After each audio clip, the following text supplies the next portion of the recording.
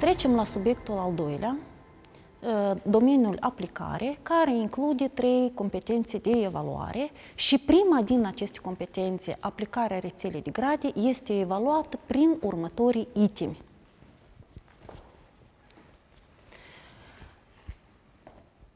Exerciții geografice și sunt mai multe tipuri de exerciții geografice. Primul, exerciții de terminare a coordonatelor geografice, exerciții de calculare a distanțelor pe hartă și exerciții privind variația orei pe glob aplicând harta fusilor orare. Acum ne vom aminti cum se determină coordonatele geografice. Deci coordonatele geografice pot fi uh, determinate pe orice hartă în care este inclusă rețeaua de grade. Rețeaua de grade este formată din linii imaginare paralele care după care se determină latitudinea geografică. Și latitudinea geografică poate fi latitudine nordică sau latitudine sudică. Adică, adică toate punctele situate mai la nord de ecuator, principala paralelă, au latitudine nordică. Iar toate punctele situate mai la sud de, de paralela zero sau ecuator au latitudine sudică. Alte linii imaginare care unesc polii Pământului sunt meridianele, după care se determină longitudinea geografică și longitudinea geografică poate fi longitudine estică, respectiv longitudine vestică. Adică toate punctele situate la est de meridianul 0 au longitudine estică, iar cele situate la vest de meridianul 0 au longitudine vestică. Menționez că, deși uh, este un tip de exercițiu, la sigur, uh, exersat foarte des de voi, dar din anumite cauze, emoții sau uh, starea fiziologică, deseori faceți greșeli care țin de încurcați emisferele nordică și sudică. Încă o dată, partea care se află mai la nord de paralela zero este latitudine nordică, partea care se află mai la sud, latitudine sudică. Și respectiv aceeași greșeală faceți și în cazul determinării emisferilor la, la longitudinea geografică. Altă greșeală frecvent uh, făcută de către elevi încurcați paralelele și meridianele. Deci liniile orizontale care arată lățimea foii sunt paralele, iar liniile verticale sunt meridiane. Și respectiv, dacă veți ține minte acest moment, greșeli la determinarea lor nu, va, nu veți uh, face. Un exemplu concret de determinare a coordonatelor geografice. Determinați coordonatele geografice doar în grade ale vârfului Mont Blanc din munții Alp, aplicând rețeaua de grade a hărții fizice și fiți atenți, eroarea admisibilă plus minus 2 grade. Pentru realizarea acestui item se folosește manualul de clasa 6-7 și anume Harta fizică a Europei. Primul pas realizat este identificarea Uh, vârful Mont Blanc pe hartă. După ce l-am găsit, trebuie să vedem ce paralelă trece prin acest punct. În cazul dat, paralela, paralela pază 6, latitudine nordică, ținând cont de faptul că Europa se află mai la nord de ecuator. Al doilea pas este să Ă, determinăm ce meridian trece prin acest punct. Și este vorba de meridianul 7 grade, longitudine estică. Aici este simplu determinată emisfera, pentru că se vede meridianul 0 și respectiv vârful Mont Blanc se află la est de, aceast, de acesta. Deci, răspunsul corect este 46 grade latitudine nordică și 7 grade longitudine estică cu o eroare de plus minus 2 grade. Scorul total pentru realizarea acestui istim este 4 puncte care sunt distribuite în felul următor. se acordă câte un punct pentru determinarea corectă a valorii latitudinii și longitudinii geografice, total două puncte. Adică, pentru fiecare valoare scrisă corect, în limitele erorii admisibile se acordă câte un punct. Se acordă câte un punct pentru indicarea corectă a emisferii, adică pentru în cadrul latitudinii, că scrim latitudine nordică, în cadrul longitudinii indicăm emisfera estică și se acordă câte un punct, în total două puncte. Alt exercițiu în această categorie este următorul. Analizați harta Europei și determinați ce oraș are următoarele coordonate geografice.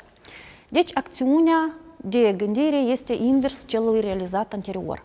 Mini se dau coordonatele geografice. 60 grade latitudine nordică și 31 de grade longitudine estică și trebuie să identificăm ce oraș au, are aceste coordonate. Primul pas, găsim paralela.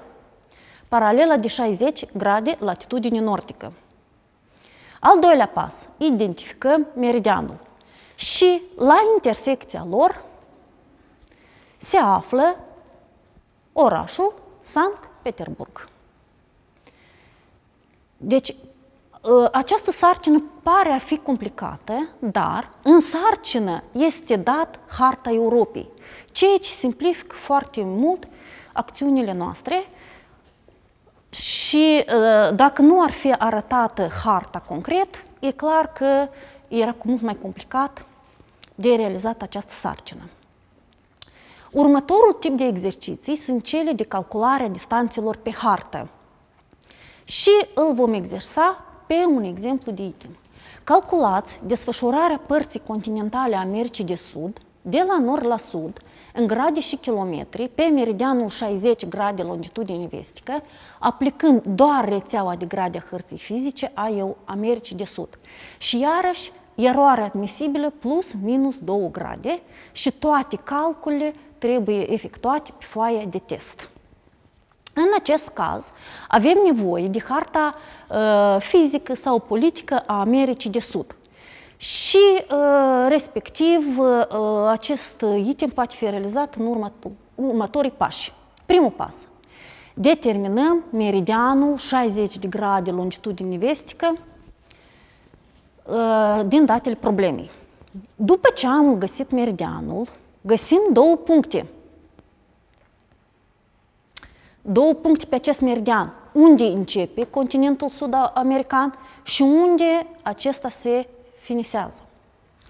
Dacă am găsit, este nevoie mai departe de determinat doar latitudinea. Și atenție, în item, emisfera este indicată. Noi doar trebuie să indicăm valoarea paralelei. La, la fel și pentru cazul al doilea.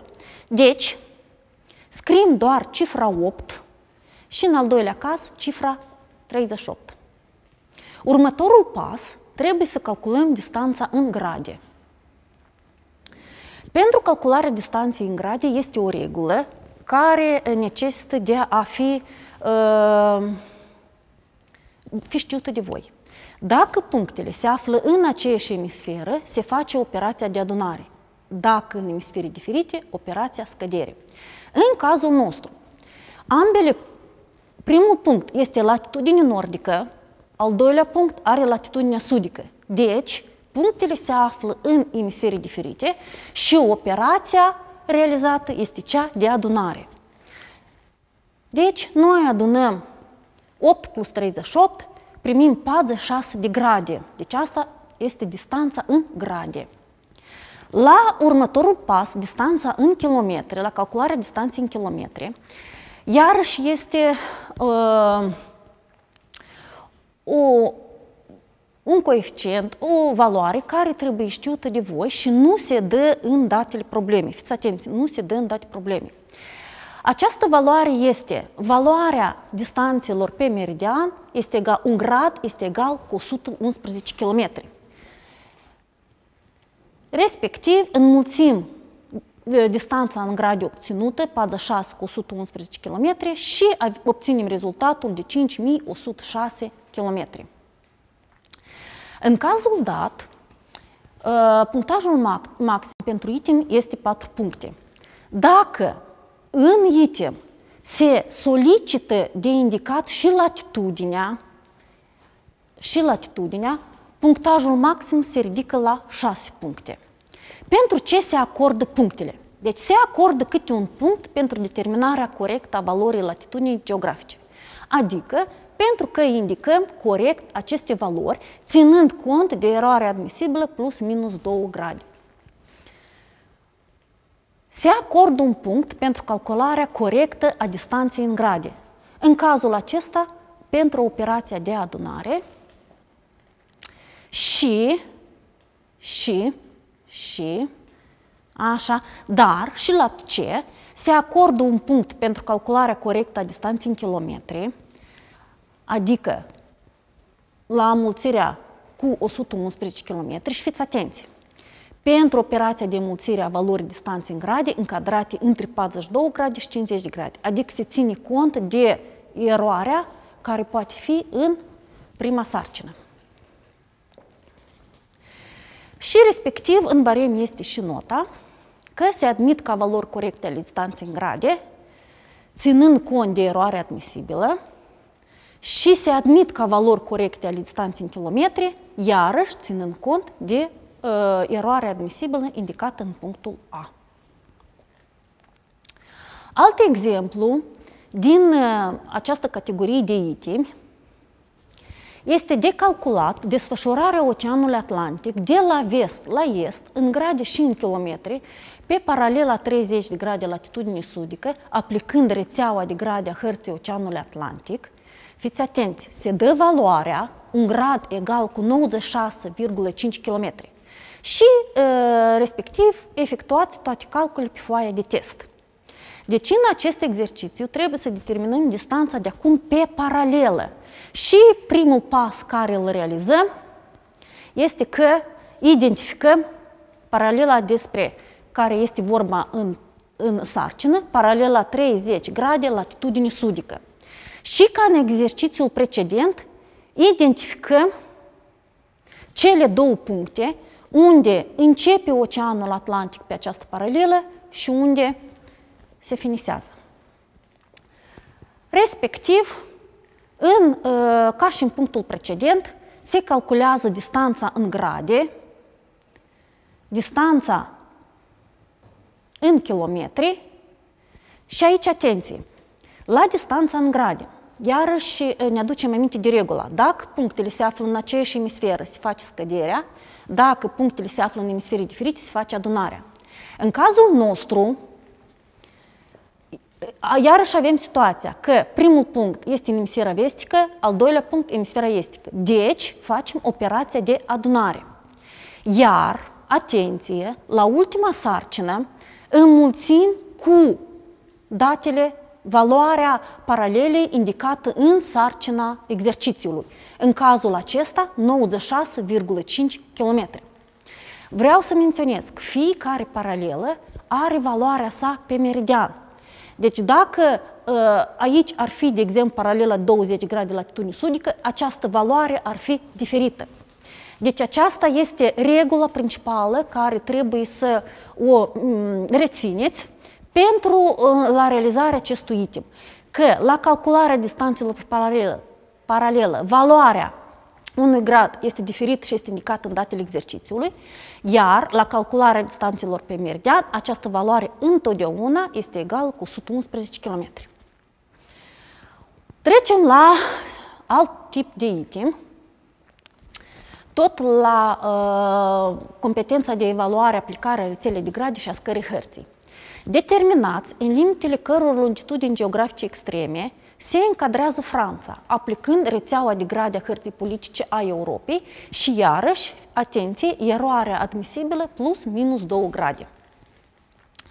În cazul acesta, utilizăm harta politică a Europei din Atlasul clasa 11 și stabilim uh, meridianele, identificăm acele meridiane care trec prin extremele de vest și de est a Franței. Atenție! La extremitatea de est, meridianul luăm insula Corsica, care tot face parte componentă din Franța și astfel, pentru extremitatea de est, meridianul este 9 grade longitudine estică, iar pentru extremitatea de vest este 5 grade longitudine vestică. Cifrele se scriu, respectiv în această sarcină se cere descris și uh, emisfera. Așa, este ușor, meridianul 0 pe această hartă se vede, Primul punct este situat la vest sau la stânga de meridianul 0 și respectiv are longitudine vestică, iar al doilea punct, situat la dreapta sau la est, are longitudine estică. Pentru realizarea acestui item se acordă total 4 puncte, care sunt distribuite în felul următor. Se acordă câte un punct pentru determinarea corectă a valorilor extreme ale longitudinii, adică pentru indicarea acestor valori cu eroare admisibilă plus minus 2 grade. Se acordă câte un punct pentru determinarea corectă a emisferii. Deci dacă am indicat corect emisfera în care se uh, află aceste meridiane, primim două puncte și în total 4. Următorul tip de exerciții sunt cele care privesc variația orii pe glob, aplicând harta fuselor orare. Și un exemplu concret este un avion decolează din Kiev, fusul orar 2, emisfera estică, la orele 19 pe data de 20 februarie. Peste 10 ore, avionul aterizează în Tokyo, fusul orar 9, emisfera estică. Determinați la ce oră și pe ce dată avionul aterizează în Tokyo. Și uh, efectuați toate calculele pe foaie de test. Nu sunt dați pașii în acest item, de aceea uh, voi trebuie să uh, analizați atent, să mai citiți încă o dată sarcina și singuri să uh, realizați sarcine sau pașii care determină realizarea acestui, acestui item. Primul pas este calcularea diferenței de fuse orare. Deci accentuez faptul că în sarcina problemei este indicat atât fusul orar, cât și emisferele în care se află orașele vizate în test. La calcularea diferenței de fuse orare este o regulă asemănătoare cu cea care la exercițiile precedente. Dacă orașele sunt în emisfere diferite, se face operația adunare. Dacă sunt în aceeași emisferă, operația de scădere. În cazul nostru, ambele orașe sunt din aceeași emisferă, estică, și Kievul și Tokyo. Atunci, facem operația de scădere. Din număr mai mare, scădem numărul mai mic și obținem diferența de 7 ore. Pasul 2 este calcularea orei oficiale la Tokyo când avionul decolează din Kiev. La realizarea uh, acestei operații este iarăși o regulă. Trebuie să ținem cont de faptul că dacă ne deplasăm spre vest, facem scăderea. Dacă ne deplasăm spre est, respectiv operația de adunare. În datele problemei, ora se dă concret pentru orașul Kiev. Deci în Kiev este ora 19. Trebuie să determinăm ora în orașul Tokyo. Și sau utilizăm harta, sau în imaginație facem o deplasare de la Kiev spre Tokyo. Dacă ne deplasăm spre est, cum este în cazul Uh, orașelor noastre, atunci facem operația de adunare. Ce adunăm? Adunăm diferența de ore la, la ora indicată în problemă. Și în cazul acesta obținem ora 19 plus 7 ore, ora 2, următoarea zi. A treilea pas este calcularea orei oficiale și a datei la Tokyo când avionul aterizează ținând cont de faptul că în uh, datele problemei, în datele exercițiului, este indicat timpul de zbor 10 ore. Adică la ora 2, la ora 2, adăugăm timpul de zbor și obținem ora 12, următoarea zi, data 21 februarie. Acest item realizat corect acumulează maxim 4 puncte, care sunt distribuite în felul următor. Se acordă un punct pentru calcularea corectă a diferenței de oră. Punctul A. Se acordă un punct pentru calcularea orei oficiale la Tokyo când avionul decolează din Kiev. Punctul B. Și la punctul C se acordă două puncte. Un punct pentru că indicăm ora și al doilea punct pentru că indicăm data. Următorul tip din um, domeniul de aplicare, următorul tip de exerciții, de uh, item, sunt cei ce țin de caracterizarea tipurilor de climă utilizând climogramele. Climograma este o reprezentare grafică a elementelor climatice pentru o, o localitate. Dacă analizăm climograma, cifrele pe orizontală, cifrele romane, indică lunile anului. Luna 1 ianuarie și respectiv luna 12 decembrie. Colonițele, care pot fi de diferite culori, indică cantitatea de precipitații pentru fiecare lună și valoarea lor este indicată pe axa din stânga climogramei. Linia care poate fi iarăși de diferite culori, roșii, albastre, indică variația temperaturii, valorile termice pentru fiecare lună, care sunt indicate pe axa din dreapta a climogramei. La analiza unei climograme sunt următoarele sarcini. Prima sarcină. De indicat temperatura aerului în luna cea mai caldă. Deci, ținând cont de faptul ținând cont de faptul că linia indică valorile temperaturii și utilizând axa din partea dreaptă, ușor se vede că temperatura maximă este de 34 grade. Respectiv, de indicat temperatura aerului în luna cea mai rece. Iată aici se vede că e cea mai scăzută temperatură și mișcăm până la uh, axa din dreapta pentru a vedea valoarea acesteia, care este de 18 grade. Atenție! Eroarea admisibilă un grad. A doua sarcină. De calculat amplitudinea anuală a temperaturii aerului. Uh, amplitudinea anuală nu este altceva decât operația de scădere dintre valorile termice indicate mai sus.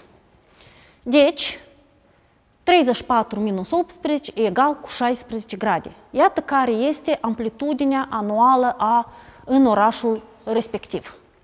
Dar aici vreau să menționez că de multe ori uh, elevii fac greșeli atunci când o valoare a temperaturii este negativă.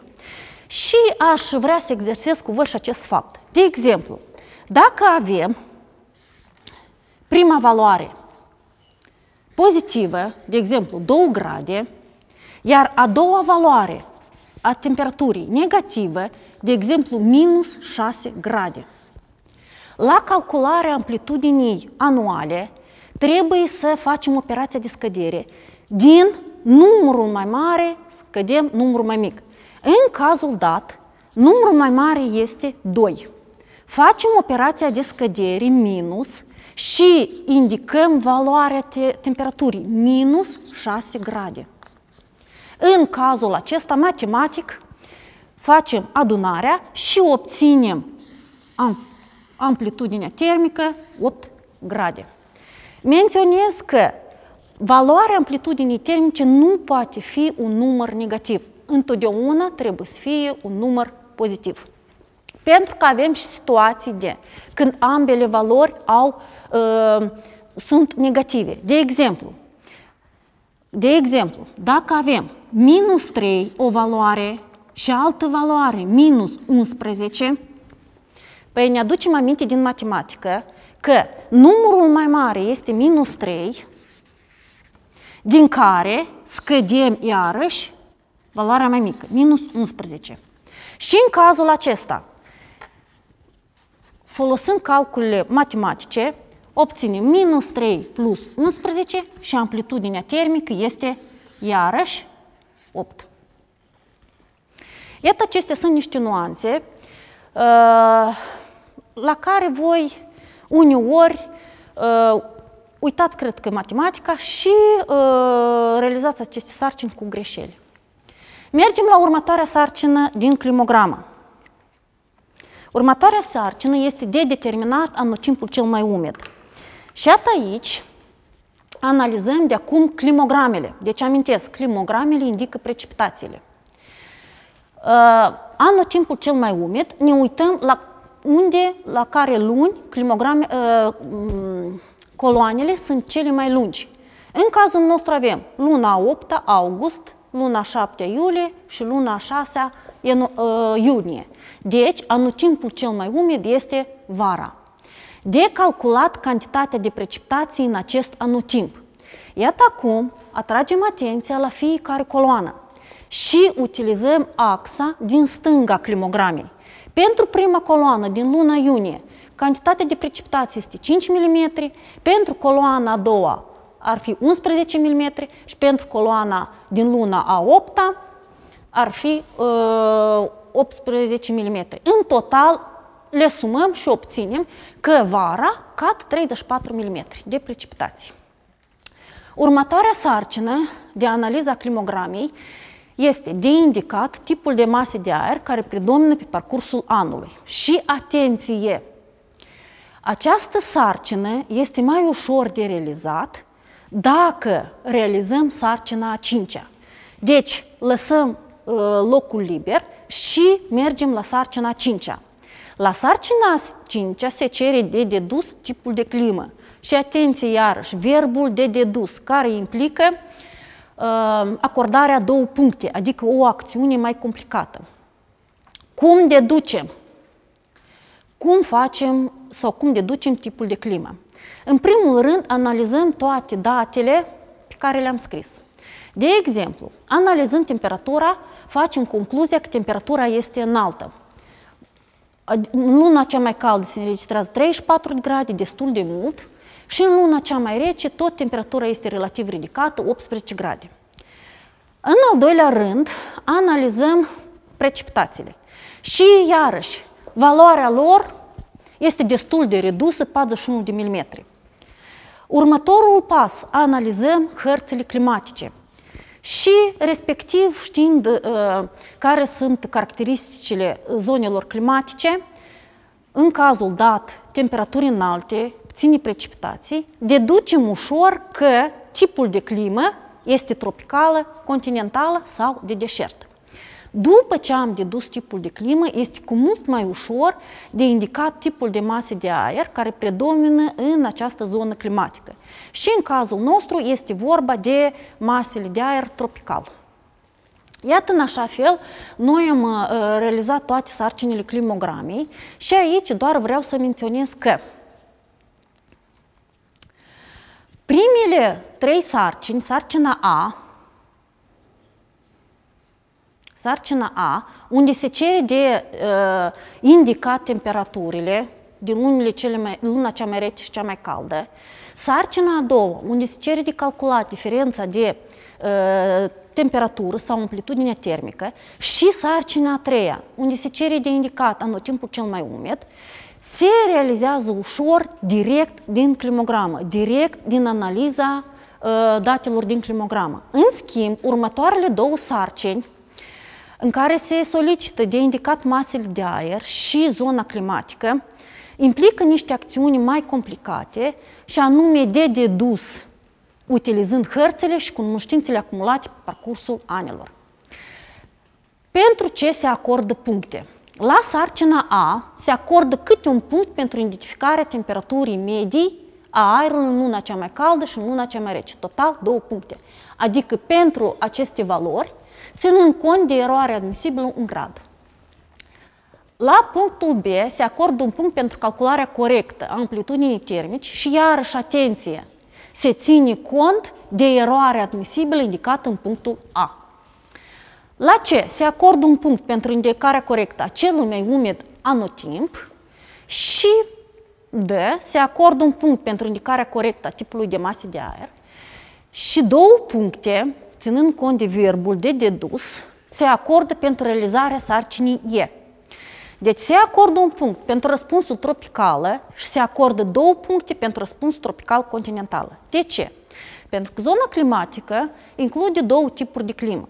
Deci primul tip de climă este tropical maritim, care este, uh, pentru care se specifică o cantitate mai mare de precipitații, iar al doilea tip de clipă, cum este în cazul uh, climogramei noastre cu precipitații foarte reduse, este uh, tipul tropical continental.